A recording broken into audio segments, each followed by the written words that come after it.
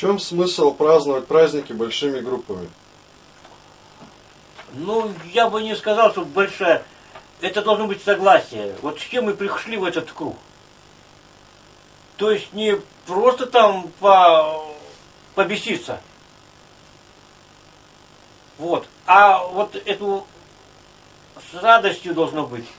И она должна быть какой-то нести, значит, ну, цель какую-то должна быть. Вот. Вот тогда имеется цель. А если это просто тусовка, она не знаю, она только смущению приводит.